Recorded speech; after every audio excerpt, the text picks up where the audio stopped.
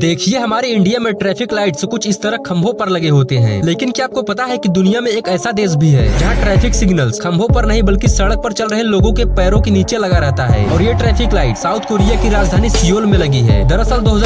में सियोल में एक पायलट प्रोजेक्ट के तहत सड़कों के किनारे ट्रैफिक लाइट लगाई गयी एक लगाव का उद्देश्य ये रहा की यहाँ जो लवंडा लपाड़ी है वो सब रोडवा आरोप चल के फोनवे में बार बार देखते रहे जिसकी वजह ऐसी खम्भे आरोप लगा लाइट इन लोगों को नहीं दिखाई देता था और कई बार एक्सीडेंट भी हो जाता था बस इन्हीं सब कारणों की वजह से पैरों के नीचे लाइट लगाना पड़ा